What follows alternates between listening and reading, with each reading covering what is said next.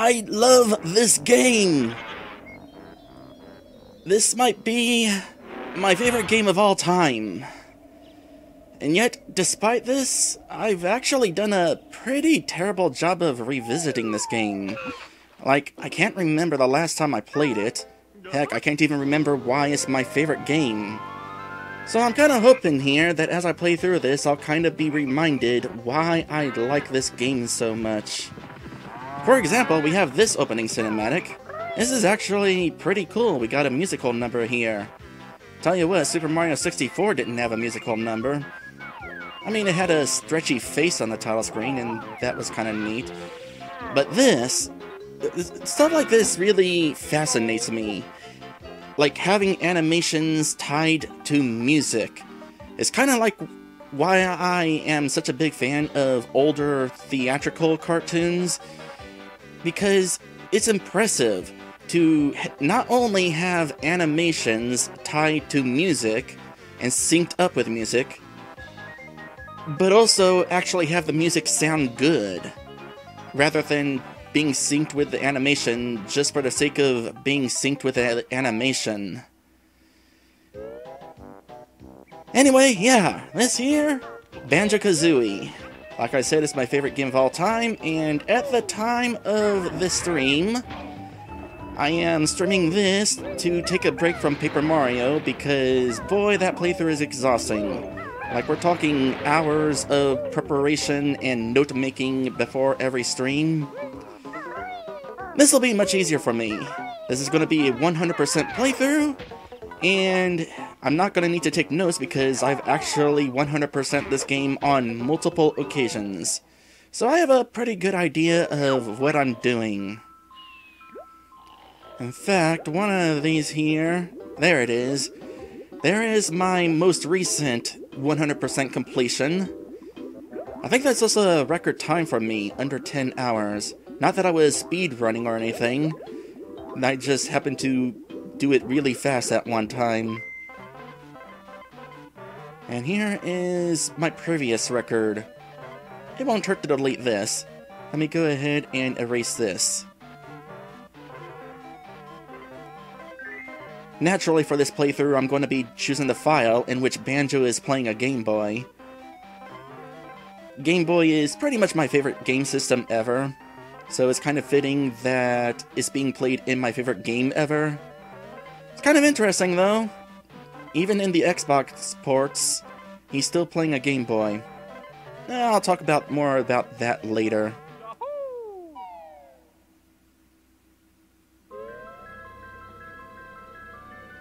Maddie Ratati, the Maddie Ratty, who is no longer Maddie Ratata, says, Notice my auto host didn't pick you up. Yeah, I gave up on auto hosting. I have auto host on multiple people and it rarely works. Although it sometimes does work for you. So at least there's that.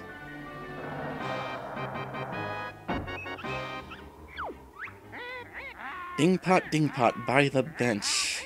Who is the nicest looking wench? Why is Grunty any day? She really takes my breath away. yes, you're right. I'm rather proud. My looks stand me out from the crowd. I love the dialogue in this game. Er, there is this girl. What do you mean this cannot be? There's no one prettier than me.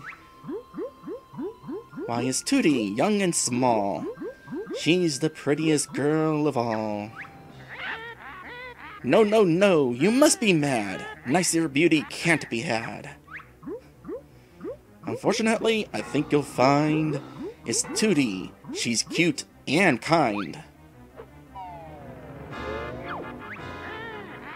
Well, we'll see about that.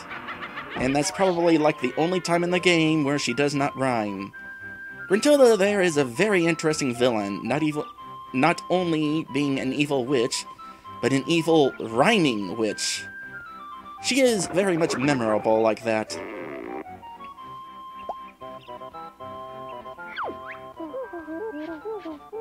Hi there, Tooty! What are you going to do today?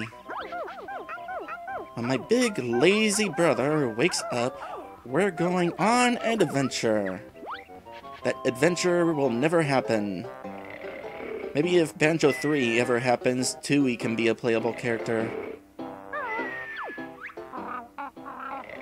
Wake up! I want to go on an adventure too.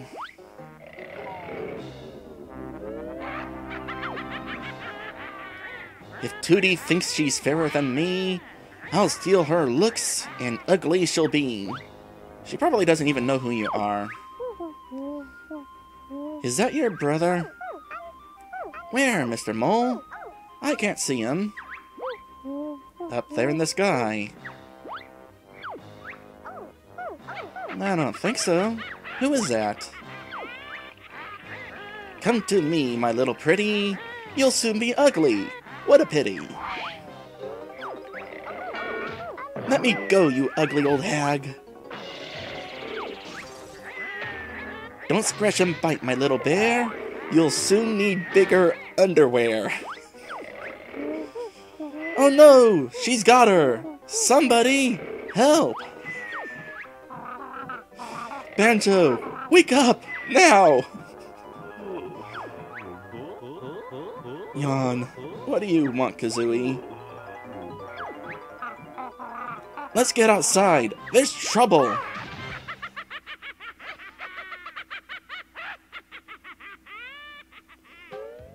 Oh, I am already enjoying this so much. so, I finally get control. I say finally, but that was such a fun opening.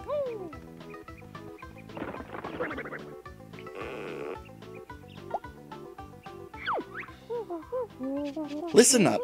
I'm Bottles, the short-sighted mole. I'm Banjo, and this here's my buddy Kazooie. Sure is a strange-looking buddy, Banjo. Can it talk? Better than you can, Goggle Boy. What was all that noise about? Where's my sister, Tooty? The ugly witch Gruntilda swooped down out of the sky and grabbed her.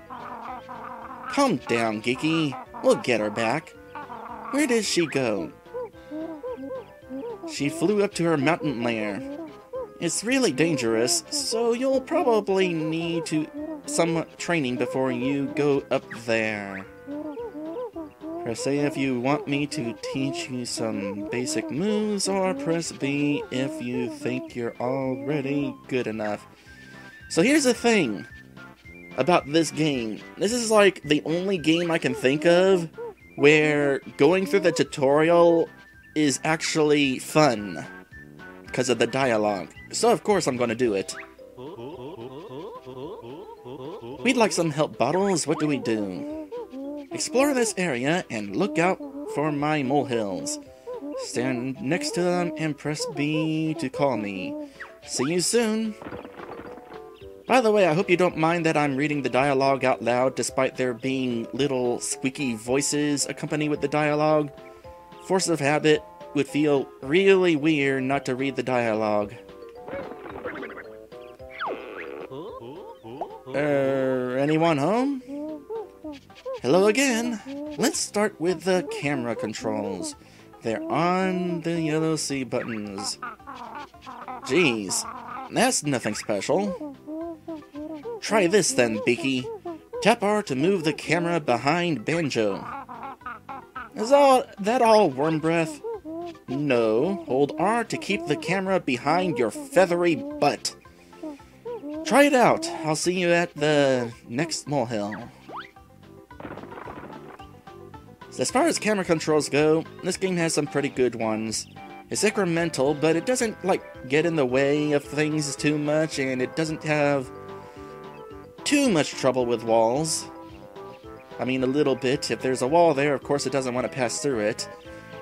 It's certainly better than Mario 64's camera, though. And of course, pressing R to get it behind me is super duper helpful.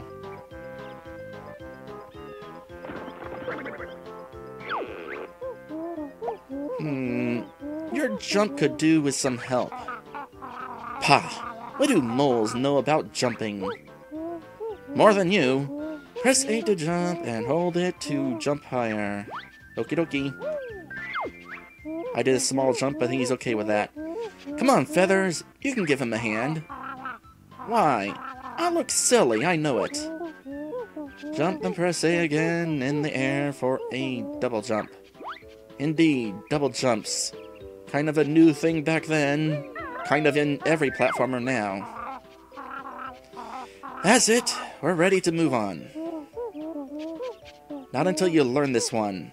First, you must stand like this. What, wearing ridiculous glasses and a silly grin? Ah, I'm not listening. Hold Z, then press A for the mighty flip, flap flip jump. Oh, right.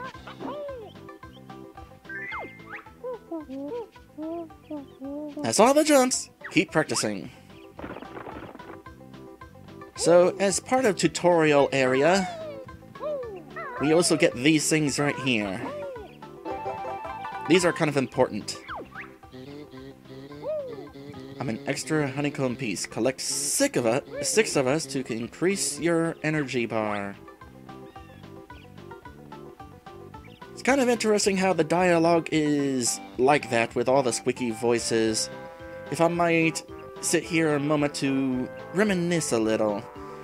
I mean, remember back in the days of Nintendo Power when they were talking about this game?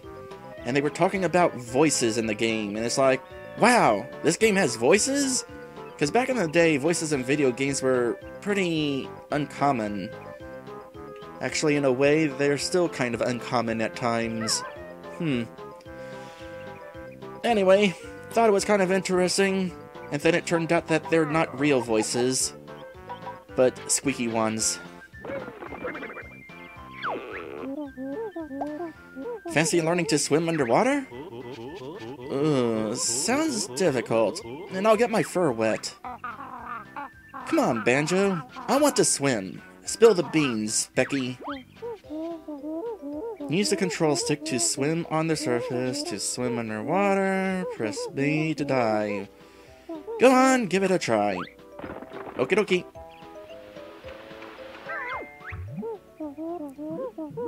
Underwater, Banjo can press A to kick his legs, and the Winged Wonder can press B to use her wings. Winged Wonder is probably one of the only compliments that Kazooie's going to be getting from Bottles. Alright, there's a secret over here that I'm gonna totally get while I am over here.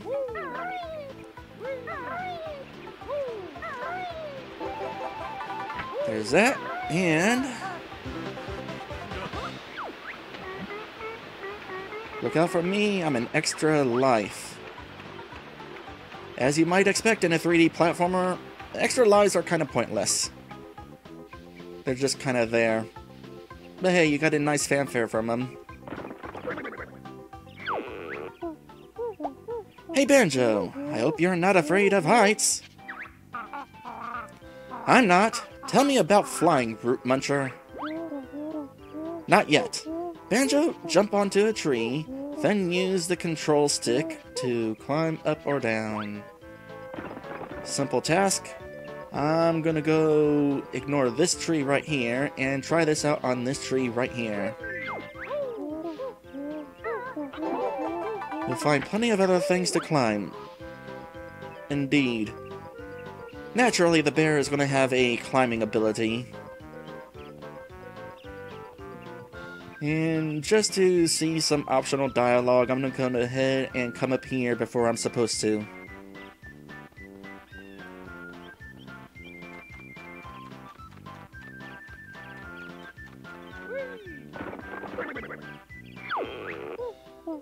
Hey, where are you guys going? We're off to whack the witch and rescue Tooty. You haven't learned all the basics yet. She'll kick your butt. She can try, the old hag. The bridge is broken, and I'm not fixing it until you learn all the moves. On, Kazooie, let's go and find the ones we missed. And just to point it out, indeed, this is kind of broke. Pretty sure there's no way to sneak across it either. Nope. In case you're wondering, there is fall damage. Thankfully, I did not fall far enough to trigger it.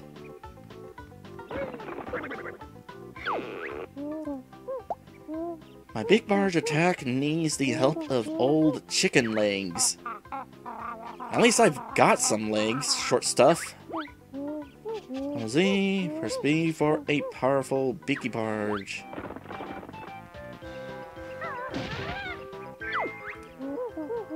See, Banjo? She is useful for her something. I'm trying this move out on you next, Jamjars. Um, Jamjars is actually Bottle's brother.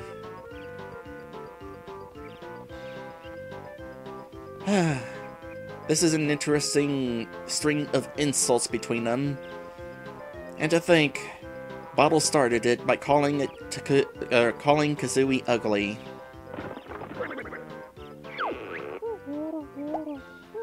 Banjo, it's time for you to learn the claw swipe attack. What is it? I must know. Simply press B when standing still or moving slowly. Sounds good. What can I try it out on? Well, how about Bird Brain? Just try it, Bottle Boy. Only kidding. Let me find something with a challenge. Ah, there's Topper. Whack him, Banjo. Ah, yes, the Claw Swipe. Easily the most useless attack in the game. Wow, nice one. Try another. Hey, I want some moves. You've had some moves. It's Banjo's turn.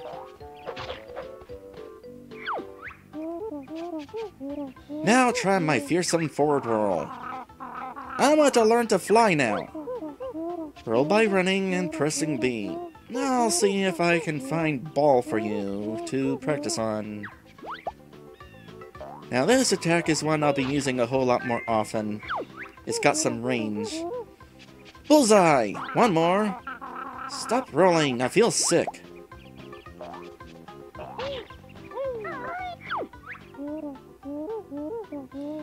It's time for the buzzer to learn a trick. It better be a good one, Squinty. Try out the rat-a-tat rap by jumping and pressing B in the air. Now where's Colliwobble? Of course all these enemies gotta have names. Hmm, not bad, Featherface. Give me another, Bog Eyes. Nope, hitbox doesn't trigger until he's out. That's it! You've learned all the basic moves. Meet me at the top of the Spiral Mountain, and I'll tell you what to do next.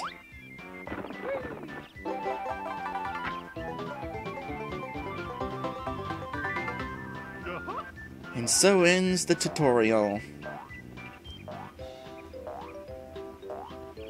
By the way, in case you're wondering, you can get these honeycombs without doing the tutorial. I just do it for the dialogue. Alright, back up we go. As we head up here, just a random bit of trivia. This is not my original copy of the game. My original copy of the game kind of broke somehow, and so I wound up asking my parents to get me another copy some Christmas. That tells that kind of tells you how much I enjoy this game.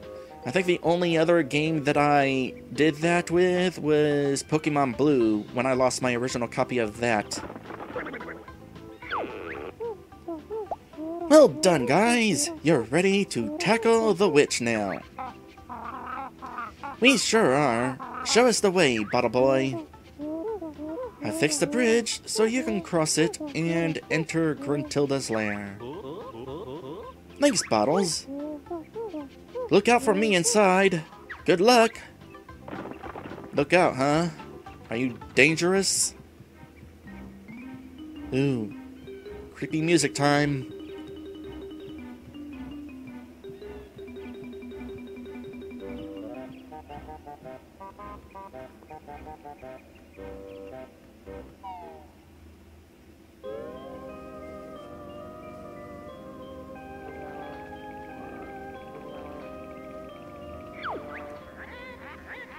This fine contraption, so I'm told, will make me young and tooty old. Let me go, you fat hag. My brother will come and kick your butt. Rescue you we will not dare. There's many dangers in my lair. Hurry, Klungo, push that switch. I'm tired of being an ugly witch. You didn't know you were ugly until an hour ago or less. 20 minutes? Close enough.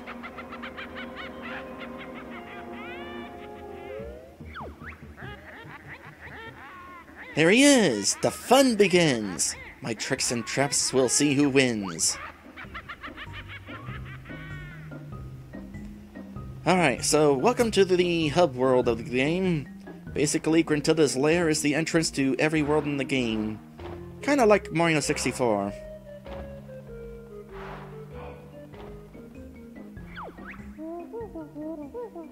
You found a jigsaw picture, stand on the jigsaw-shaped podium, and I'll explain what you have to do.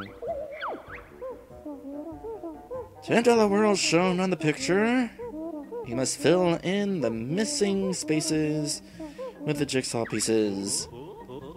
Uh, I don't think we've found any of those yet. I think I saw one near the lair entrance. Come back when you found it. Alright. I could have grabbed it already, but I just wanted to trigger that dialogue. It is fun triggering dialogue. Speaking of which, I'm still here, I watch you play. But I can't think of much to say. Oh boy, I know exactly how that is. I'm a streamer, and yet I still have a little trouble coming up with things to say sometimes. Hey, it's me, Mr. Jiggy. Now go and find a picture with a piece missing.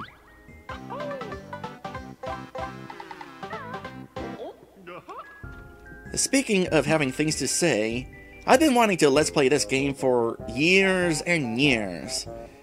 But I decided to hold off until I was certain I was good enough to be entertaining and make a good playthrough of this game. Well, I've been doing this for 10 years now. If I'm not good yet, I never will be. We've got the first jigsaw piece, Goggle Boy. Great! To fill in the missing spaces on a picture, press A. If you don't want to use any jigsaw pieces, press B to leave.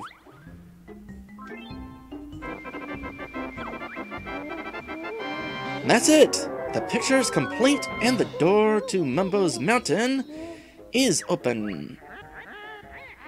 That was such an easy fit. The others may just test your wit. Alright. And so concludes the opening of the game. We're about to go here on an episode break.